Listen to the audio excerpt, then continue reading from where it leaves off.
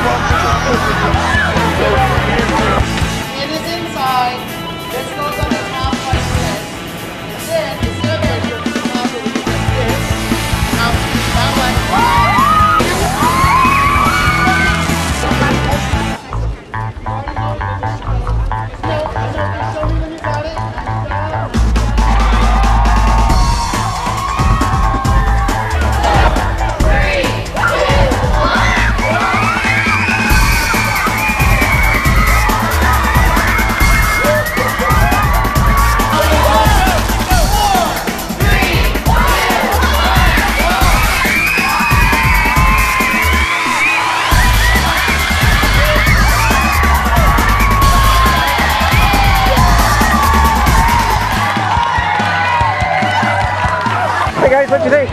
It was really cool. Yeah. Was it just like you thought it would be, or was it different? What was different about it? I didn't think it would be that big. Yeah, it was huge. It was like, Yourself and what? What happened? uh, we got into a war with the guys. So Who won? work out so well. They won. That was awesome. It was insane. It was, raining coke. Rain and Coke, yeah. It was pretty cool. We had like a million going off at the same time, so it was cool. It was awesome. It was awesome. 30 feet high. I loved it. Pulled the cap off and went. The coolest part was getting sprayed with the crow. What'd you think? It was awesome. That was the best thing ever. Sled the best. The kids loved it. I think this is 20 out of 10. It was awesome. It was like crazy. Everything went up and